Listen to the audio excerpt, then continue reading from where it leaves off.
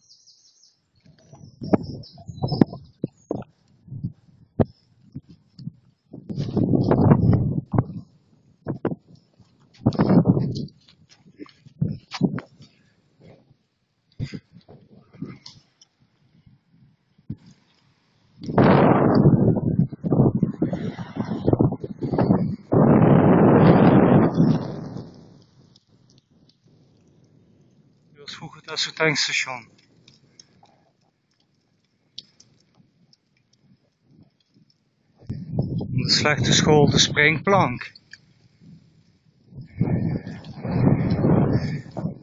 Die niet opkwamen voor Stefanie Hekker.